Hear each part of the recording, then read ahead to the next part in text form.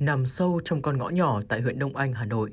ngôi chùa Xuân Trạch yên bình, dang rộng vòng tay bao dung, đón nhận những mảnh đời bất hạnh. Trong không khí hối hả của những ngày cuối năm, Nguyễn Hữu Hoàng cùng các bạn nhỏ khác vẫn đang cặm cụi làm những chiếc nến bơ.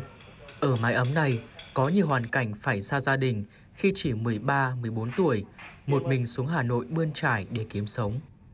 Vào thời gian cơ cực nhất, chùa Xuân Trạch đã giúp các em chỗ ở và tạo công ăn việc làm nơi đất khách quê người.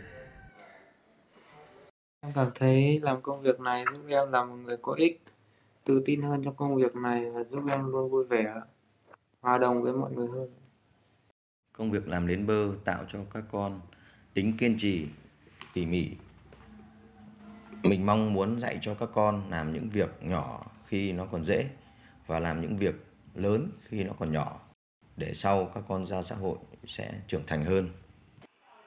Mái ấm nhỏ này được Đại Đức Thích Thanh Hải kết hợp cùng các Phật tử thành lập với mong muốn không chỉ cho các em nơi ăn trốn ở mà còn định hướng giúp các em được học nghề để có thể tự nuôi sống bản thân, làm người có ích cho xã hội. Đặc biệt, các công việc này còn có ý nghĩa hơn khi các em được tự tay làm nến cúng dường Tam Bảo. Trước hết là chúng ta có cái tâm này cúng dường sư Phật, sư Bồ Tát.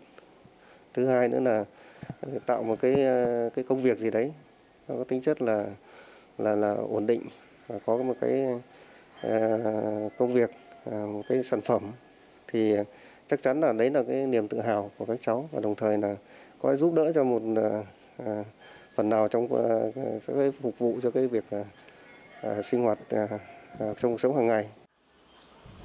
nơi mái chùa Yên Bình Xuân Trạch tại huyện Đông Anh này vẫn cháy bỏng ước mơ vươn lên của nhiều hoàn cảnh.